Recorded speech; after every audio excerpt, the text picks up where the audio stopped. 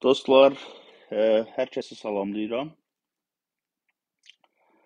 Ə, mən bu günləri ə, Rusiya-Ukrayna müharibəsindən bağlı danışacağam yenə sizinlə.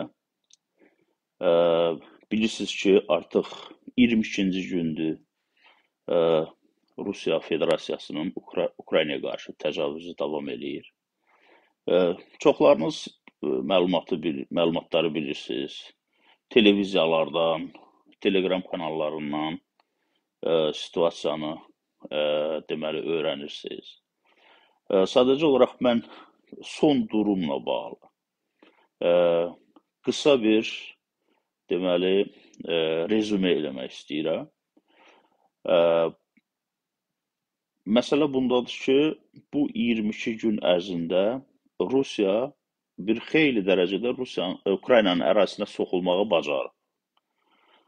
Bu əsasən Kiyev istiqamətində, o cümlədən ə, deməli Çerniqov və Sumi vilayətləri istiqamətində, Xarkov vilayəti istiqamətində, Donbas istiqamətində və nəhayət ə, cənubda Xerson vilayəti, Zaporojye vilayətinin bir hissəsi və Mariupol şəhəri. Yəni bugünkü döyüşlər bu ərazilərdə gedir. Yəni ə, bu ümumiyyətlə Rusiyanın planı ondan ibarət idi ki, maksimum 7 gün ərzində Ukraynanı diz çökdürsün. Yəni Rusiya bu ə, planla, bu strategiya ilə Ukraynaya təcavüz eləmişdi.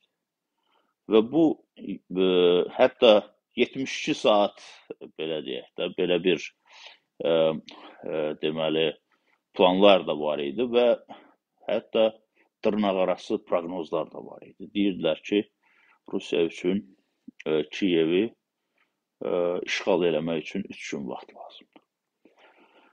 Deməli, ə, Rusiya ə, indi məsələn Qərb kəşfiyyatının, o cümlədən Ukrayna kəşfiyyatının məlumatları göstərir ki, Rusiya fevralın 24-nə qədər Belarus, Ukraynanın şərqi və Ukraynanın cənubu, yəni o cümlədən Qara dənizdə topladığı təxminən 150 minlik ə, deməli qoşunun əksəriyyətini Ukrayna ərazisinə yeridib. Yəni burada bir dənə deməli istisna nədən ibarətdir? Qara dənizdə olan bu gəmidəki desantlar və s. bunlar buna müvəffəq olmayıblar. Yəni ki, onlar ə, o, o onların hədəfi ə, Odessa şəhəri olmalı idi, ancaq bu deməli baş tutmayıbdı və baş tutması da ə, yəni görünmür açığı. Bu ə, amma bir bir məqamı burada qeyd eləmək lazımdır. Deməli, baxmayaraq ki, məsələn, Belarus istiqamətində Rusiya Kiyevin təxminən 25-30 kilometrliyinə qədər qüvvələr yeridib, ancaq onların e, deməli o qüvvələrin arxasında, yanında, müxtəlif istiqamətlərində olan şəhərlər heç biri təslim olmayıb. Bunlar İrpen şəhəridir, Kostemel şəhəridir, Vasilkov şəhəridir. Burada deməli əhali evakuasiya olunsa da, bu günə qədər də Ukraynanın əskərləri və ə, e, ərazi müdafiə batalyonları, hansı ki, yanvarın birindən təşkil olunmağa başlayıb, onlar döyüşləri davam edir. Eyni məsələ də Mariupoldadır. Məsələn, Mariupol artıq iki həftədir mühasirədədir, amma oradakı qüvvələr təslim olmur və hər gündə deməli Rusiya qüvvələrinə qarşı, texnikaya qarşı, tanklara qarşı özlərinin deməli e, deməli e, zərbələrini endirirlər. Həm həm texnikaları qalır, həm ə, uç bu pilotsuz uçuş aparatları qalır. Eyni zamanda özləri də ə, böyük sayda özdə bu Mariupolda vuruşan ə, qüvvələr bir növ xüsusi təyinatlı qüvvələr. Ümumiyyətlə mən sizə deyim ki, Ukraynanın vuruşan qüvvələri e, bunlar 18 yaşındakı əsgərlər deyil. Bunun əksəriyyəti deməli müqavilə əsasında, kontrakt əsasında orduya gəlmiş qüvvələrdir, xüsusi təyinatlardır və ərazi idarə etmə batalyonlardır ki, onlar da döyüş təcrübəsi görmüş Ukraynalılardır ki, hansı ki, könüllü olaraq orduya qoşulub. Bugünkü situasiya bundan ibarətdir ki, Rusiyanın nə Kiyevi işğal etmək imkanı var, nə Xarkovu, yəni bunlar bilirsiniz böyük şəhərlərdir. O cümlədən də Çernigov və Sumi istiqamətində Ukraynanın içinə müəyyən qədər sızmalar olsa da, ə, onların heç bir şansı yoxdur ki, bu böyük şəhərləri işğal edə bilsinlər. Mariupolu da işğal etmək üçün hələ ki ə, bu şans yoxdur. Baxmayaraq ki, Mariupola giriblər, müəyyən hissəsinə giriblər, şəhərin 90%-ni dağıdıblar hava zərbələrindən. Ancaq şəhər təslim olmayıb və təslim olması da gözlənilmir.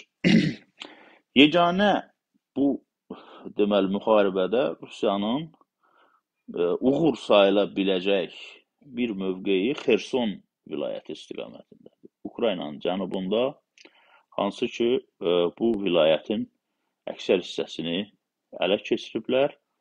Ancaq onların o Nikolayev şəhərinə və daha sonra da Odessa vilayətini mühasirəyə almaq, nə bilim, Moldovanın e, bu Rusiyanın nəzarətində olan Pridnestrovye e, ərazisinə çıxmaq və s. bu planlar puç olubdur. Bu günə bu situasiya e, hərbi vəziyyət bundan ibarətdir. Ancaq mən bu gün e, bu hərbi məsələlərdən danışmaq istəmirəm. E, çünki Təbii ki, mən e, məlumatları alıram birinci mənbədən e, və müxtəlif mənbələrdən Ukrayna siyasətinə yaxından bələdəm, Ukrayna ordusuna, iqtisadiyyatına bələdəm, qərb mediasını yaxından izləyirəm. Ancaq e, mən e, təbii ki, hərbi ekspert deyiləm. Sadəcə olaraq öz müşahidələrimi bölüşürəm. Görünən budur ki, Rusiya artıq ə, irəli gedə bilmir. Heç bir istiqamətdə irəli gedə bilmir. Əksinə bir çox istiqamətlərdə Ukrayna ə, əks hücumla Rusiya qüvvələrini ə, deməli qaçmağa, deməli səngər qazmağa, yəni artıq səngər qazırlar bəzi istiqamətlərdə. Çünki onlar başa düşürlər ki, indi artıq müdafiə olunmalıdırlar. Çünki Ukrayna qüvvələri də özünü toparlayıb əks hücuma keçib. Bu günə qədər Ukraynanın ən çox problemli məsələsi onun hava sahəsidir. Çünki Rusiyanın e, çox güclü deməli hava kosmik qüvvələri var, hansı ki uzun illərdir e, Rusiya çox böyük e, deməli bura yatırım eləyib və silahlar düzəldib. Raketlərdir, təyyarələrdir və s. Təbii ki, bu e, bu e, aviasiya NATO aviasiyası ilə müqayisə oluna biləcək bir aviasiya deyil. Ancaq Ukrayna ilə müqayisədə xeyli güclü hava qüvvələrinə, e, deməli, hava kosmik ə, deməli qüvvələrinə malikdir. Və bundan da ə, Rusiya yetərincə istifadə edib. Bəzi məlumatlara görə Ukraynanın ərazisinə 900-ə qədər raket atılıb.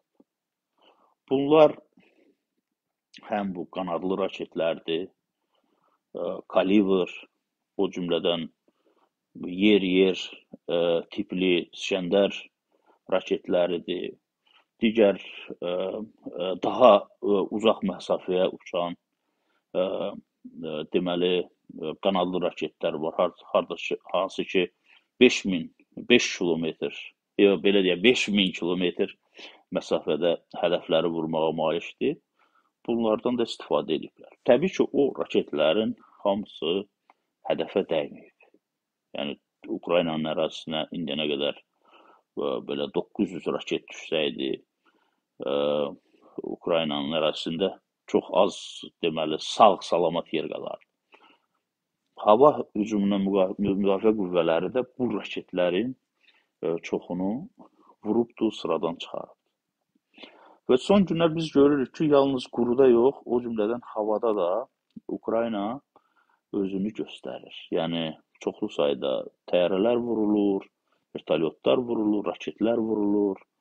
E, o cümlədən özünün e, deməli e, dronlarından istifadə edir. Burada deməli həm e, onun e, əlində bayraqdarlar var, həm də başqa dronlar da var. Yəni e, o videolardan görünür ki, bəzi e, taktiki taktiki deməli dronlar da var ki, e, hərbi texnikaya və s. E, aşağı məsafədən e, zərbələr endirir. Və dünən dünən qəbul olunmuş qərarlar yaxın bir həftə, 10 gün ərzində bu Ukrayna cəbhəsində, Ukrayna müharibəsində situasiyanın kökündən dəyişəcəyini göstərir. Bu nədən ibarət? Birincisi, birincisi artıq ABŞ və NATO Ukrayna hava hücumundan müdafiə sistemləri verəcək. Bu artıq bu qərar qəbul olunub. Burada söhbət e, deməli bu hərbi məsələlərdən bilənlər, silahlarla maraqlananlar bilirlər. Bunlar deməli S-300, hansı ki, bu əslində Sovet e, hava e, hücumundan müdafiə sistemləridir. Ancaq Şərqi Avropa ölkələri bu silahlara malikdirlər və onları modernləşdiriblər. Çexiyada və başqa Şərqi Avropa ölkələrində bu PVO sistemləri var və onlar modernləşdirilib, müasirləşdirilib və NATO standartlarına uyğunlaşdırılıb. O cümlədən Strela belə bir ə, deməli pivot sistemləri var, hansı ki vaxtilə Almaniya Demokratik Respublikalarında bu ə, mövcud idi. Onlar da modernləşdirilibdi. O cümlədən OSA belə bir hava hücumundan pivot sistemləri var. Bu sistemlər ə, Ukraynaya veriləcək. Bu artıq qərar qəbul olunub. Bu sadəcə olaraq gün, saat məsələsidir. Yəni həftə məsələsi deyil. Təbii ki, onların hamısı birdən gətirilməyəcək və e, müntəzəm olaraq bu silahlar, bu müdafiə silahları Ukrayna ərazisinə gətiriləcək və bunlar uzaqda deyillər, bunlar Şərqi Avropa ölkələrində. Dünən bilirsiniz ki, e, NATO ölkələrinin müdafiə nazirlərinin toplantısı olub və o həmin toplantıya da e, Ukraynanın da müdafiə naziri qoşulubdur və bu qərarlar orada verilib ki, e, NATO Ukrayna üçün lazım olan hava hücumundan müdafiə sistemlərini təmin eləyəcək. Bu nəyə görə bu Sovet silahlarını verirlər? Nəyə görə? Çox suallar var da. Deyirlər ki, Amerika nəyə görə Ukraynaya məsələn Patriot ə, e, PVO-larını vermir? Məsələ bundadır ki, Ukrayna hərbçiləri onlarla davrana bilmir. Onlardan istifadə eləməyi bacarmır. Yəni onlar NATO silahlarıdır və onu xüsusən də ABŞ-ın öz hərbçiləri idarə edir. Mürəkkəb sistemlərdir. Onların gətirilməsi, quraşdırılması vaxt aparır və eyni zamanda onu ABŞ hərbçiləri işə salmalıdır ki, amma NATO, ABŞ bu e, deməli müharibədə ə, belə deyək, ə, tərəf olaraq, iştirakçı olaraq, əskər olaraq iştirak eləmək fikrində deyil. Yəni bununla bağlı qərar veriblər və bunun da səbəbləri var, bəlkə də ayrıca bir bu haqda danışarıq. Bu ə, ə, bundan başqa 1 milyard dollarlıq ABŞ-da yenidən ə, müdafiə yardım paketi ayırıbdı Ukrayna. Burada da yenə ə, müxtəlif ə, tank əleyhinə raketlər, ə, deməli Stingerlər, Javelinlər, başqa silahlar, yəni branjiletdən tutmuş dəbilqəyə qədər. Yəni bu bu təminat ediləcək və burada yenilik bir dənə ondan ibarətdir ki, ABŞ da Ukraynaya ilk dəfə olaraq ə, dronlar verəcək. Pilotsuz uçuş aparatları verəcək. Bu Bu hansı e, deməli aparatlardır? Bu bu yalnız ümumən bunlar iki ölkədə var. iki ölkədə var. Bu ə, ABŞ və İsrail. Sizin çoxlarınıza bu ə, deməli ə, dronlar tanışdır. Çünki Azərbaycan da bu dronlara malikdir, İsraildən əldə eləmişdi, hansı ki, buna deyirlər kamikadze dronlar.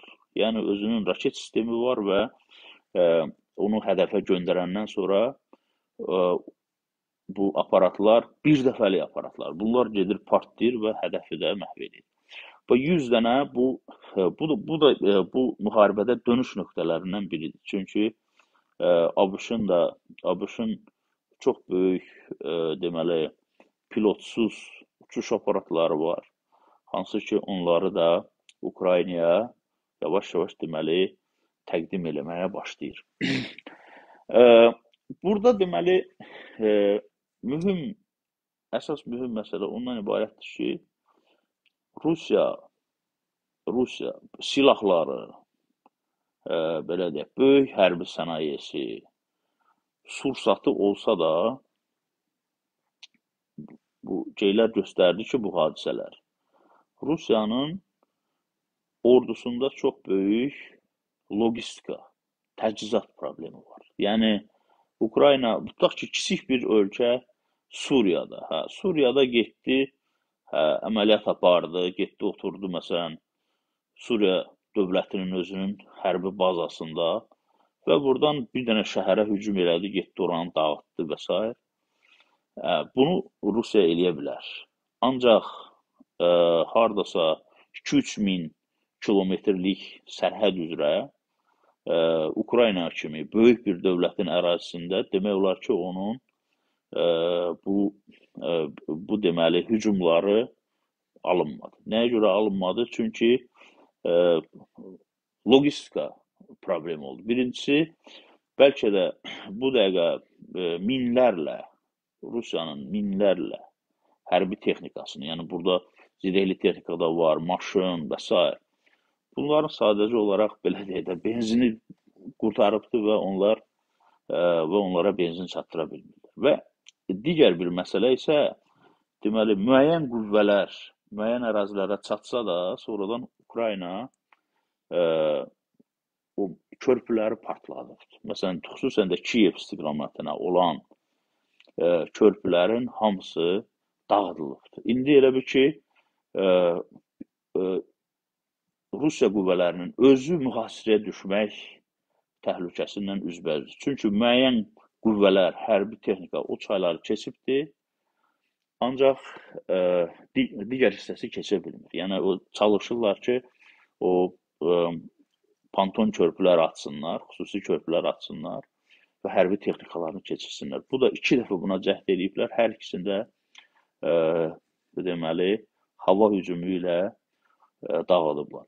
O cümlədən ə, e, Xerson vilayətində, yəni ə, e, orada da aerodromlara, aeroportlara öz texnikasını yığıbdı və ə, e, Ukrayna hava hücumundan ə, bunu ə, dağıdıb. Deməli Ukrayna ə, ordusu yalnız belə deyək, quruda əməliyyat aparan hərbiçilər yox, eyni zamanda hava qüvvələri də özünü toparlaya, toparlaya bilibdi. Yəni müharibənin ilk günləri ə, bu baskı çox ə, birdən-birə və gözlənilməz olduğundan bir növ ə, deməli rabitə itmişdi, ancaq indi özünü toparlayıb və ə, müqavimət göstərir və ə, əks hücuma keçir.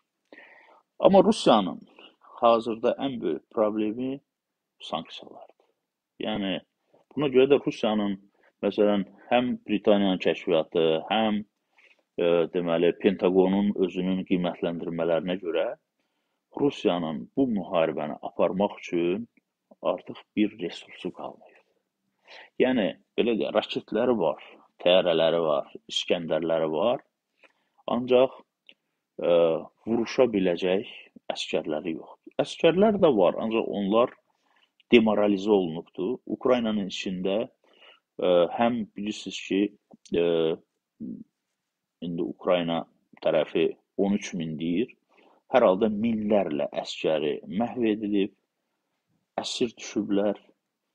yaralanıblar. Məsələn, Belarusun deyirlər ki, hərbi hospitallarında ümumiyyətlə yer yoxdur. Bundan başqa demoralizə olunublar. Yəni onların çoxunu aldadıblar ki, siz təlimə gedirsiniz. Digər bir tərəfdən də bilirsiniz, burada Rusiya üçün ən çətin məqam nədən ibarətdir? Rus əskəri gəlir, yəni o təbii ki, o xüsusi hazırlığı, tutaq ki, spetsnaz və s.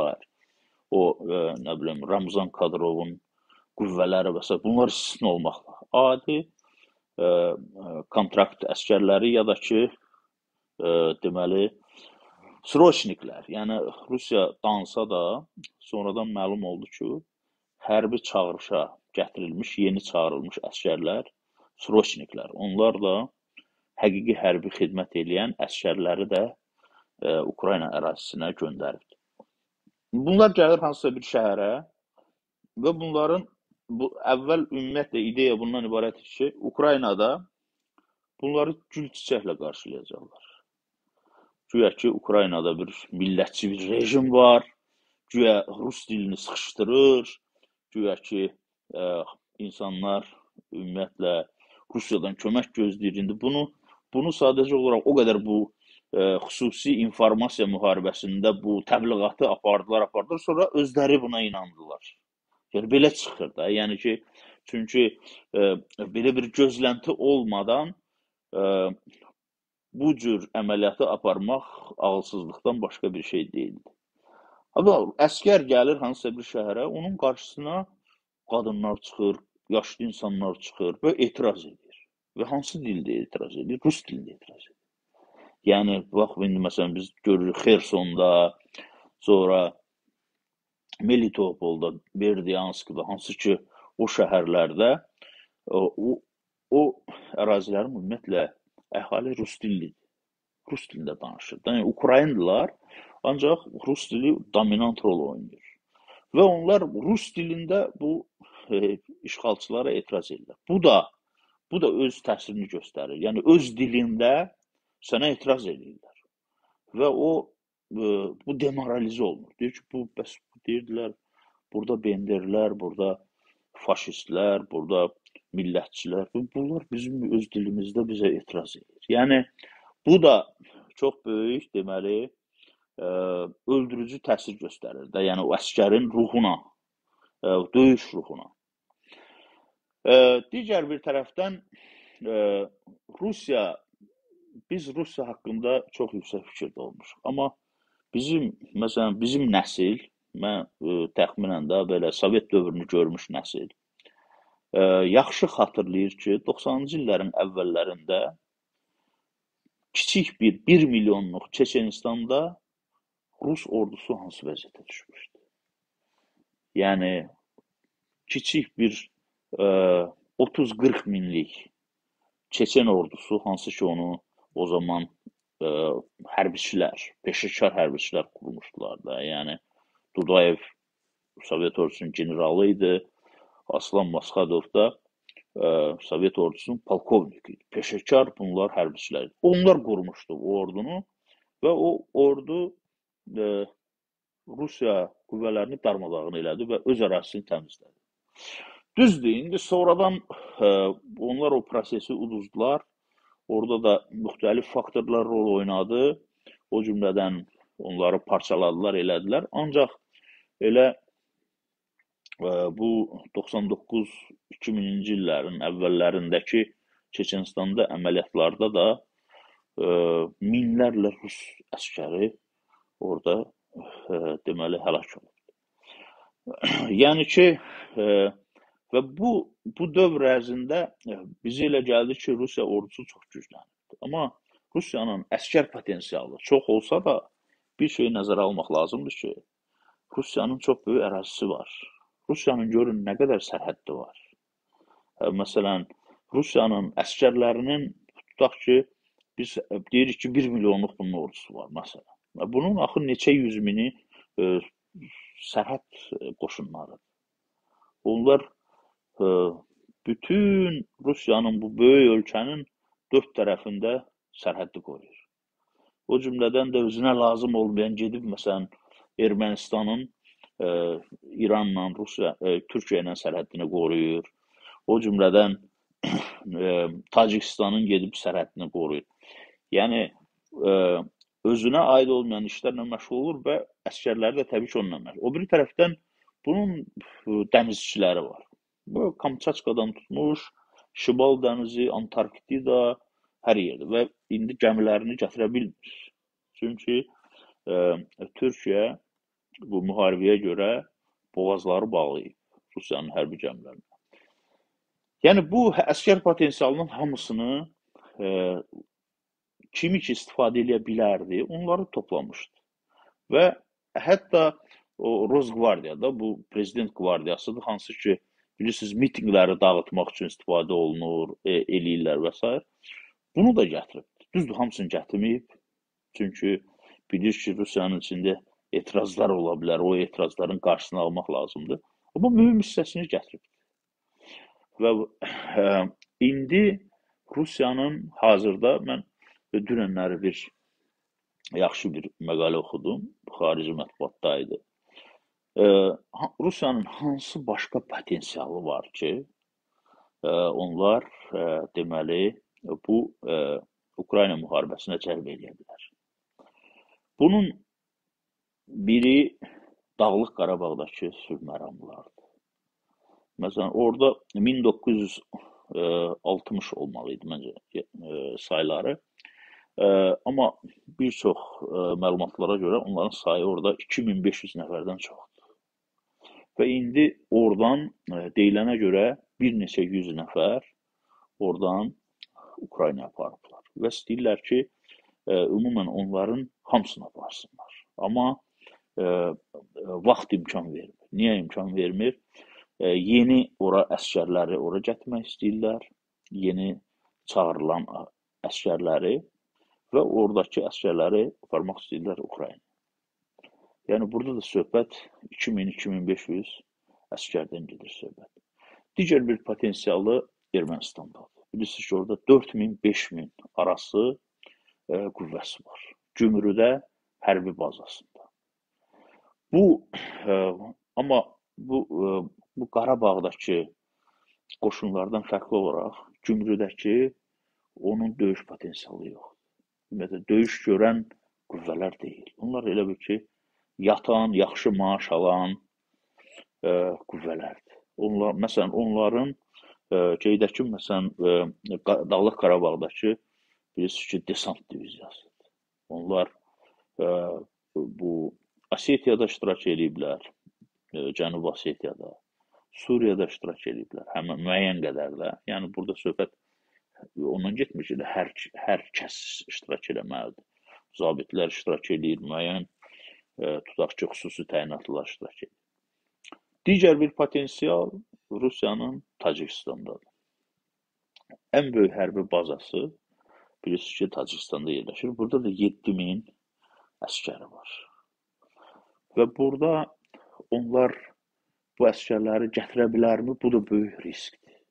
Nəyə görə? Bilirsiniz ki, Tacikistanın da sərhədində Taliban var.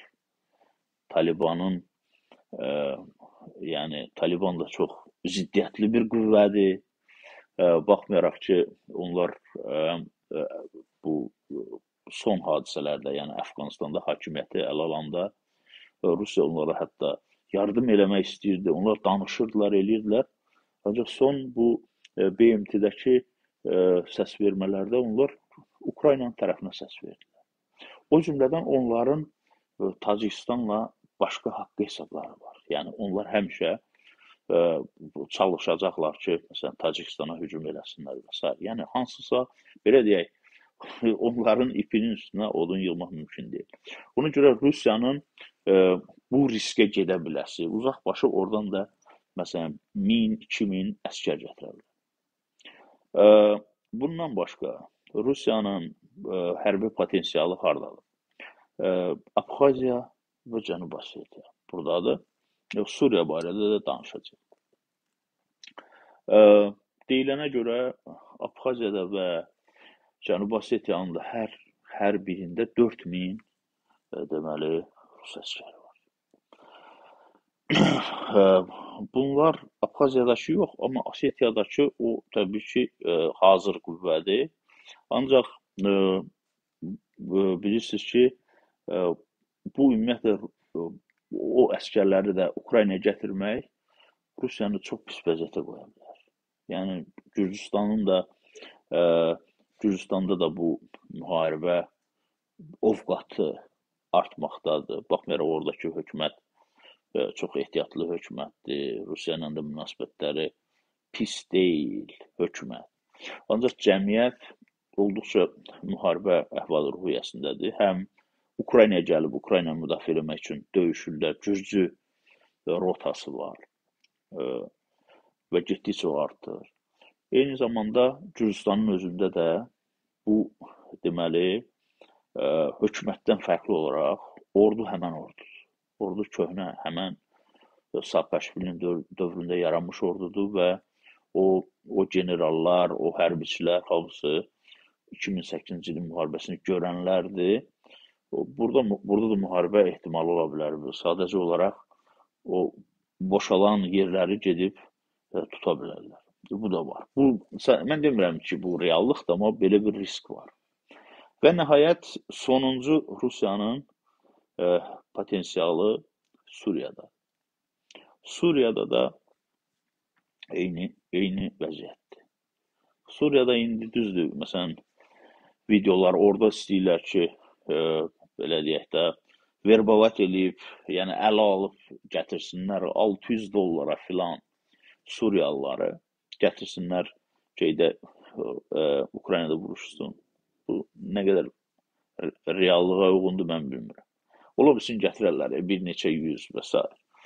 Amma onlar heç orada dili də bilmirlər. Bu əskərlərlə, rus əskərlərlə e, necə dil tapacaqlar?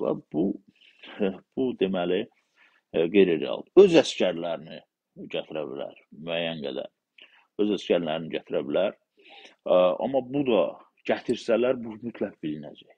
Çünki gəmi ilə gətirə bilmir, quru yolla gətirə bilmir.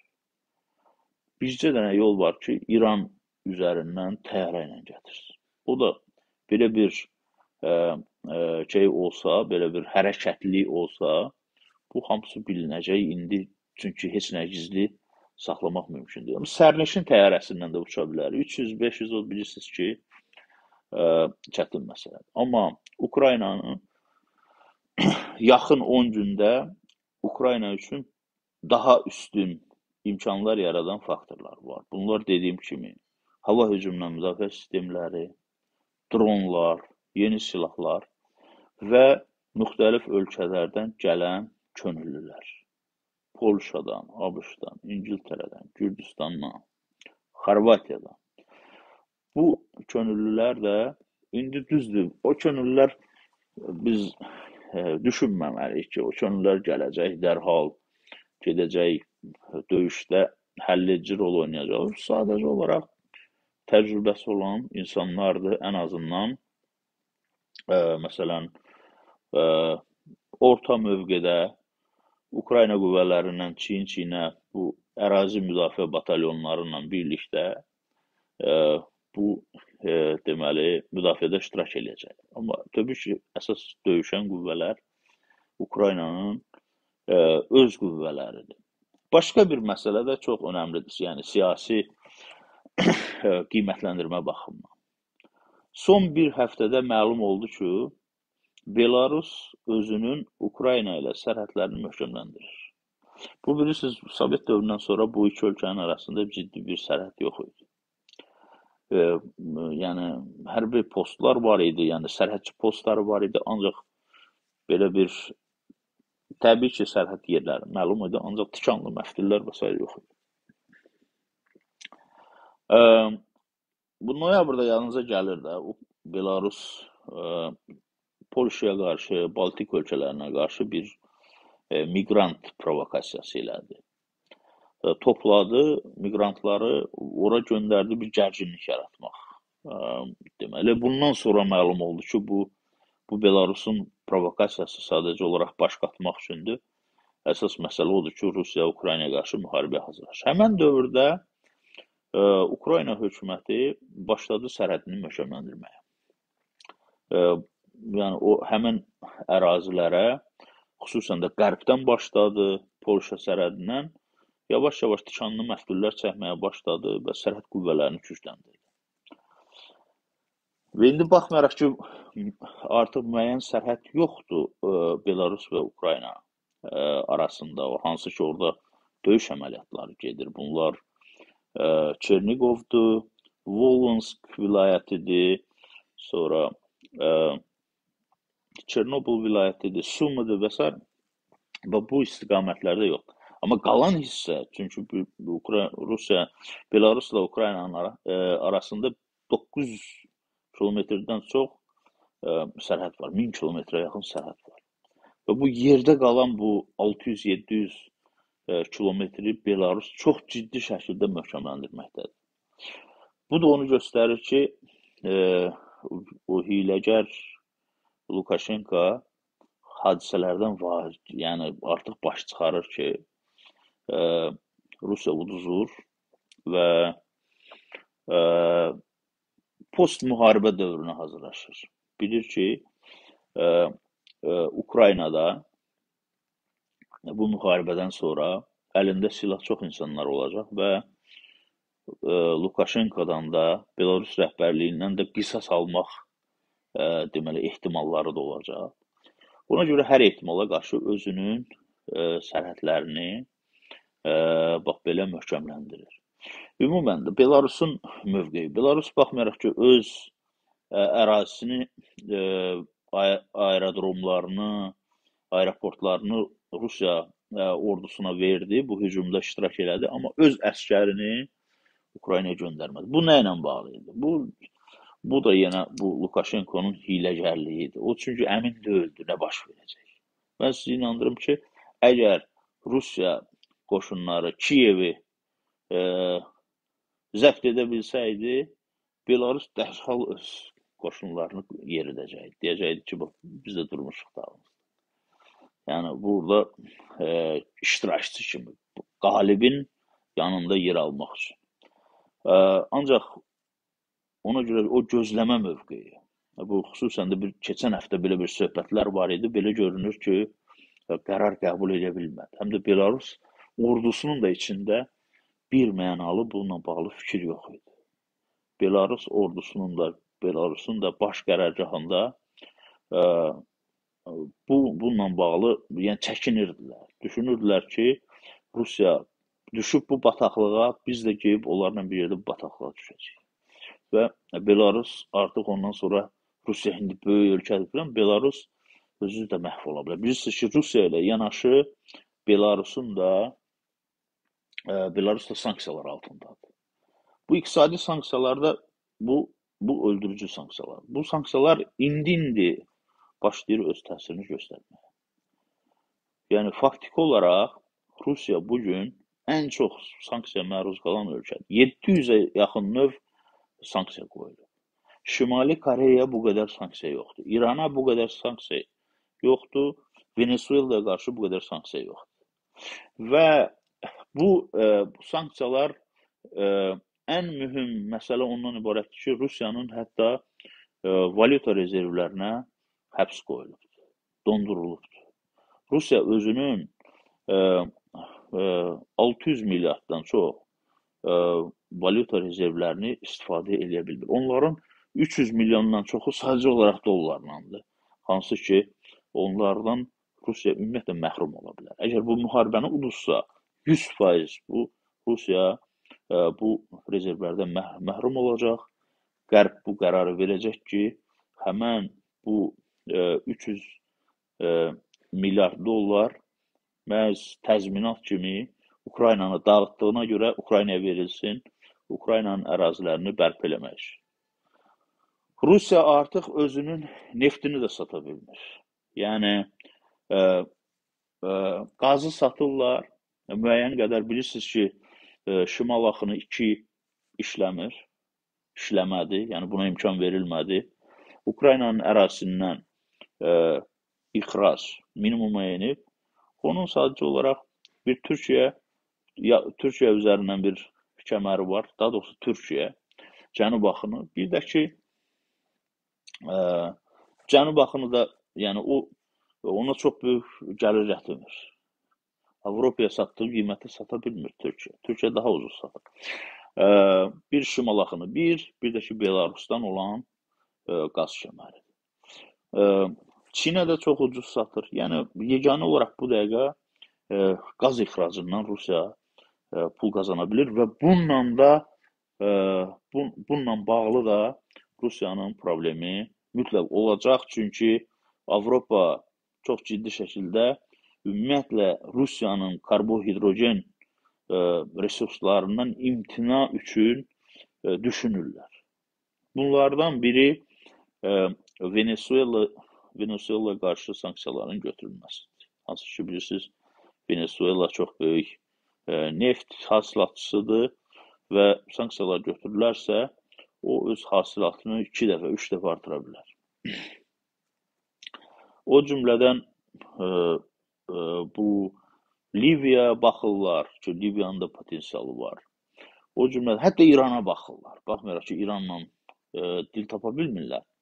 İrana da baxırlar ki, İran da əgər ə, nüvə sahəsində yenidən razılaşmalar və öhdəliklər götürülərsə, onun da sanksiyaları qaldırıla bilər. Amma bu Avropanın özündə də potensiallar var. Məsələn, Norveçin özünün potensialı var. Norveç artıq başladı daha çox qaz istehsal eləməyə. Yəni bilirsiniz, e, Qərbin imkanları çoxdur. Hətta yaşıl enerji və s. Elə bir e, elə bir durum ola bilər ki, e, belə deyək, tam imtina olmaz, ancaq çox aşağı qiymətə ala bilərlər. Rusiyadan da qaz ehtiyatlarını, amma yalnız qazla, qaz ixracından da yaşaması mümkün deyil Rusiyanın. Çünki onun demək olar ki, maliyyə sektoru çökübdür. Onun e, deməli hərbi sənayesinə çox ciddi təsirlər olacaq çünki onun onun hərbi sənayesinin o texnoloji təminatı e, hamısı e, qərbdən gəlirdi. O cümlədən texnologiyanın ixracatı dayanır. O cümlədən e, elementar McDonald's-dan tutmuş e, KFC kimi, yəni adi e, şeylər, e, nə bilim, ətir ixracı və s. bir növ elə bir ki, bu, e, bu dəfə hədəflər həm də rus insanıdır. Yəni belə çox e, müxtəlif belə e, e, fikirlər var ki, Rus xalqı buna görə məsuliyyət daşımır. Ancaq e, mən düşünürəm ki, Rus xalqı çox böyük məsuliyyət daşıyır. Çünki onun hökumətidir, o hökumətin 30 ildir, xüsusən də son 22 ildə baş verənlərə görə Rus xalqı birbaşa məsuliyyət daşıyır. Və ona görə də Rus xalqı indi seçim eləməlidir. Ya məsələn, Şimali Koreya kimi yaşamaq, Şimali Koreyalı kimi yaşamaq, ya da ki, başını qaldırmaq və ölkəsində normal hakimiyyət qurmaq. Yəni onun bunun ə, e, ərazisinə soxulmayan bir hökumət qurmalıdır. Başqa bir məsələ, indi biz ə, ə, ə, tez yekunlaşdıracağam, bir 5-10 dəqiqə yekunlaşdıracağam. Bu axırıncı bir məsələyə də toxunum. Rusiya-Ukrayna müharibəsi kontekstində Azərbaycan. Ə, mən düşünürəm ki, ə, Ukraynanın bu dirənişi, Rusiyanın Ukraynada batması, məğlub olması Azərbaycanın milli maraqlarına tam uyğundur. Bilirsiniz ki, bizim də oxşar dərdimiz var. Baxmayaraq ki, biz 44 günlük müharibədə çox böyük ə, qələbə qazanmışıq torpaqlarımızın mühüm hissəsini azad eləmişik. Ancaq bu Dağlıq Qarabağ deyilən ərazidə də ə, Rus qoşunları yerləşirdi. Və o o sülh məramlılar, dırnaqarası sülh məramlılar ə, gəldikdən sonra özünün mandatına uyğun olmayan işlərlə məşğul oldular. Kilsə tikiblər, nə bilim məktəb açıblar.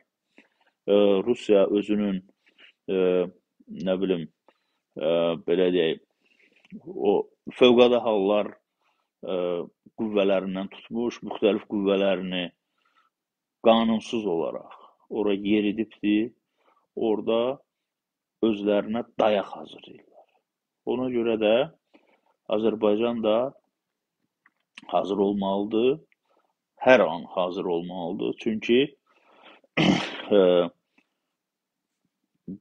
iki il, iki il müddət qalıbdır. Hansı ki, e, Rus sülh məramları, dırnaqarası sülh məramların e, Dağlıq Qarabağdan çıxarılması üçün qapılar açılsın. Amma bundan daha tez də Azərbaycan bunu təmin edə bilər. Bu da ə, Rusiyanın Ukrayna müharibəsində məğlub olması bizim üçün ən böyük bu bu fürsəti verəcəkdir. Bu fürsəti verəcək ki, biz öz sərhədlərimizə tam nəzarət edək. O cümlədən Laçın dəhlizinə nəzarət edək.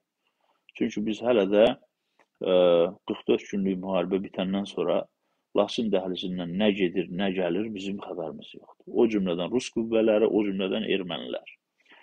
Və son günlərdə bilirsiniz ki, ə, xüsusən də bu ə, Rusiyanın hücumu başlayanda o cümlədən bizim ərazilərimizə də Dağlıq Qarabağdan ə, zərbələr endirilirdi. yəni düzdür bunun qarşısı alınır, cavabları verilir yüksək səviyyədə. Ancaq biz öz torpaqlarımıza tam nəzarət etməliyik. O cümlədən də ə, e, Ermənistan imkan verməlidir ki, Azərbaycanın bu ana hissəsindən Naxçıvana da ə, e, sərbəst biz gedib gələ bilək. Buna görə də Azərbaycan da ə, e, hazır olmalıdır. Azərbaycan Azərbaycanın ümumən mövqeyi ümumən bu məsələdə qənaətbəxşdir. Azərbaycan dövləti də Ukraynaya humanitar yardımlar göndərir və biz mən fikirləşirəm ki, bu doğru addımdır. O cümlədən ə, e, məsələn imkanı varsa dövlətin heç açıqlamasın. Daha çox yardım göstərsin, başqa yardımlar da göstərsin. Yəni bunu ə, e, bu indi qərb hazırda ə, e, ABŞ və NATO qüvvələri də Rusiya hansı köməyi eləyirlərsə, onlar qərara gəliblər ki, açıqlamayacaq ki, yəni qarşı tərəfdə ə, planlar qurmasın ki, ə, nə gəlir, nə gedir. Ə, bax mən fikrimi bununla yekunlaşdırmaq istəyirəm. Mən düşünürəm ki, ə, ə, bu yaxın ə, bir həftə, 10 gün ərzində Rusiya-Ukrayna müharibəsində çox böyük dönüş olacaq və bu ə, Ukraynanın xeyrinə olacaq və bu da ümumən bizim regionumuz üçün, Azərbaycan üçün, o cümlədən Gürcüstan üçün, Moldova üçün bizim regionun ə, bu ə, ə, Rusiya qorxusundan, Rusiya müdaxiləsindən ə, qurtulması üçün çox böyük imkan olacaq. Sağ olun. Bir daha hamınızdan xahiş edirəm ki, bu yayımı bəyənəsiz və paylaşasınız. Çox sağ olun.